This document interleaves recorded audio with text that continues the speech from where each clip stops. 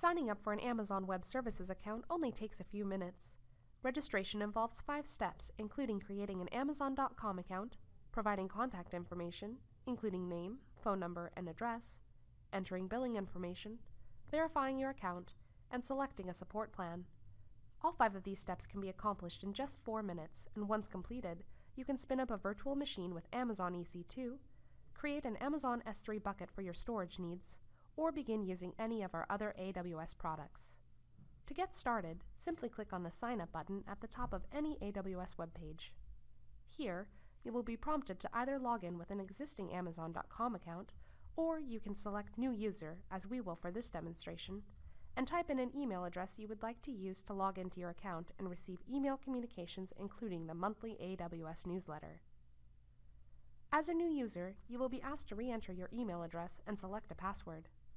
Both your email address and password will be used to log into your AWS account. The second step in creating your AWS account is providing general contact information.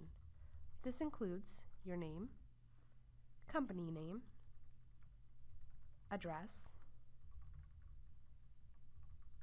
and phone number. You will also need to check the box acknowledging that you accept the Amazon Web Services terms and conditions. Please click the link provided and read these terms before proceeding. After you have read through the terms and conditions, if you agree to them, check the box acknowledging your agreement and then click Continue to proceed with account registration. The third step in creating your AWS account is providing payment information.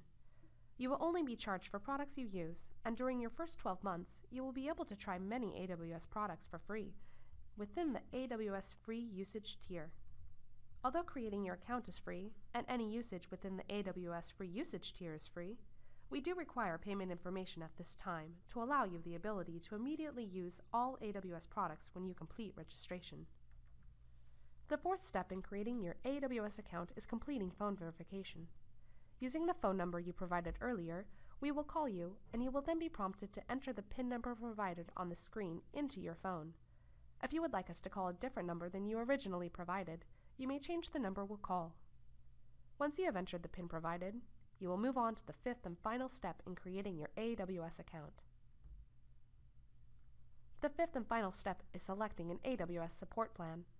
There are four AWS support levels including Basic, Developer, Business, and Enterprise.